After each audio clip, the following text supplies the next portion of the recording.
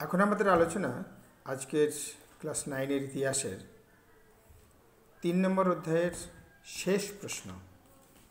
রাশিয়ার জার দ্বিতীয় আলেকজান্ডারের উদ্যোগে ভূমিদাস প্রথার অবসান। যার প্রথম নিকোলাসের মৃত্যুর পর আঠারোশো পঞ্চাশ পঞ্চান্ন খ্রিস্টাব্দে তার দ্বিতীয় পুত্র, দ্বিতীয় আলেকজান্ডার সিংহাসনে বসেন। দ্বিতীয় আলেকজান্ডারকে মুক্তিদাতার জার হিসাবে পরিচিত।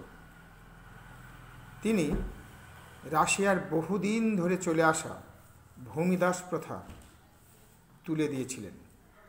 রাশিয়ায় বহুদিন ধরে ভূমিদাস প্রথা চলে আসছিল। আধুনিক যুগের শুরুতেও এই প্রথা প্রবর্তিত ছিল। আঠারোশো একষট্টি খ্রিস্টাব্দের রাশিয়ায় প্রায় পাঁচ কোটি ভূমিদাস ছিল। তিনি এই ভূমিদাস প্রথা আঠারোশো একষট্টি খ্রিস্টাব্দের উনিশ ফেব্রুয়ারি সম্পূর্ণভাবে তিনি তুলে দিয়েছিলেন।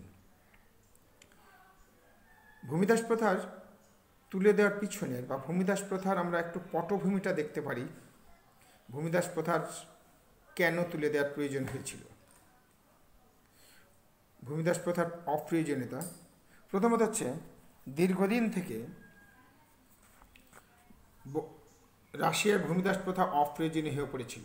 কারণ শিল্প বিপ্লবের ফলে যে অবাধ বাণিজ্য গড়ে উঠেছিল, তার ফলে আর ভূমিদাস প্রথার প্রয়োজন ছিল না। বিজ্ঞানের আবিষ্কারের ফলে বৈজ্ঞানিক উন্নত বিভিন্ন প্রযুক্তির ফলে চাষবাসের উন্নত মান বেড়ে গেলে ভূমিদাস ব্যবস্থা কমে যায়। তা সত্ত্বেও এখানকার জমিদাররা ভূমিদাস প্রথাকে ধরে রেখে দিয়েছিল। দ্বিতীয়ত ছিল কৃষকদের ক্ষোভ। জারের স্বৈরাচারী শাসনের বিরুদ্ধে কৃষকদের উদারনৈতিক আন্দোলনগুলি নষ্ট করে দিয়েছিল। যেমন, প্রথম নিকোলাসের আমলে আঠারোশো চুয়ান্ন পঞ্চান্ন খ্রিস্টাব্দে প্রায় চারশোটি কৃষক বিদ্রোহ হয়েছিল। এছাড়া বুদ্ধিজীবীদের প্রভাব। রাশিয়ায় বিভিন্ন দার্শনিক, লেখক, বুদ্ধিজীবী শ্রেণির যেমন পুষ্কিন টলস্টয় তুর্গনিব গগল এরা ভূমিদাস প্রথা, রাশিয়ার শাসন ব্যবস্থা, এগুলি নিয়ে তিনি আলোচনা করেন তারা, যার ফলে ভূমিদাস প্রথা তুলে দেওয়ার প্রয়োজন হয়। এই সময় সর্বাপেক্ষা এই পক্ষে আসেন রাশিয়ার জার দ্বিতীয় আলেকজান্ডার। রাশিয়ার জার দ্বিতীয় আলেকজান্ডার তার উদারনৈতিক সংস্কারের এক ঘোষণায় ভূমিদাস প্রথার উচ্ছেদ সাধন করার চিন্তা ভাবনা করেন এবং সিংহাসনে বসার পাঁচ বছর পরে আঠারোশো একষট্টি খ্রিস্টাব্দে উনিশ ফেব্রুয়ারি তিনি ভূমিদাস প্রথা উচ্ছেদ ঘোষণা করেন।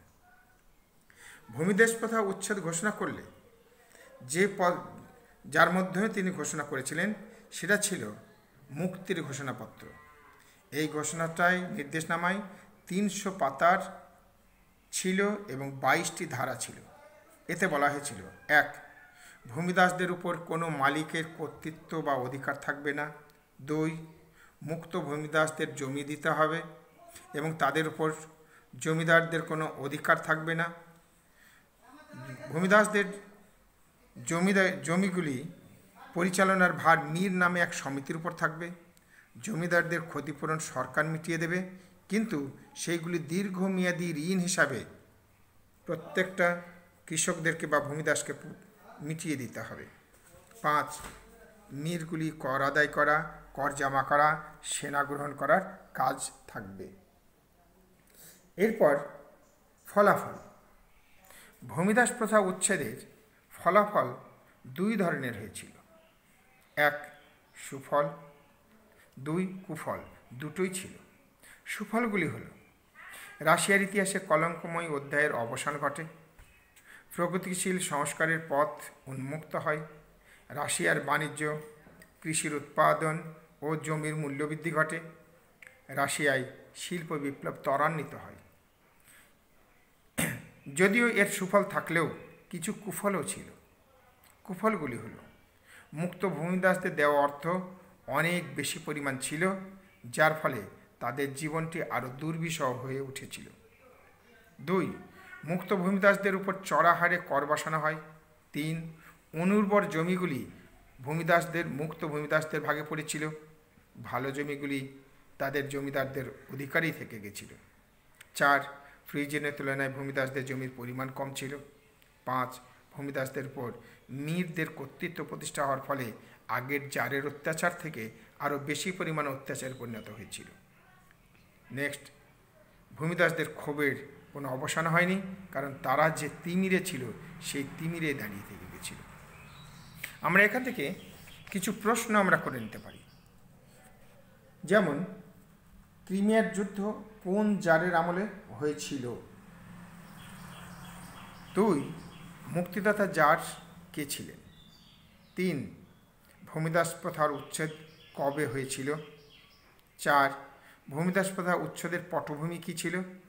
আর সর্বোপরি বড় প্রশ্ন, মুক্তির ঘোষণাপত্র কি? এর সুফল এবং কুফলগুলি লেখ। এই প্রশ্নগুলি এই অধ্যায় থেকে একান্ত করা দরকার।